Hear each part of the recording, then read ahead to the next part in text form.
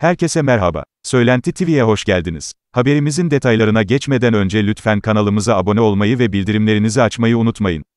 Muğla'nın Milas ilçesinde iki otomobilin çarpışması sonucu bir kişi hayatını kaybetti, bir kişi yaralandı. Hasan Şen'in kullandığı otomobil, Ortaköy mahallesinde Bekir Coşkun yönetimindeki otomobille çarpıştı. Haber verilmesi üzerine kaza yerine polis, sağlık ve itfaiye ekipleri sevk edildi. Yaralanan sürücülerden Coşkun, sağlık ekibinin müdahalesine rağmen kurtarılamadı. Şen ise Milas Devlet Hastanesi'ne kaldırıldı.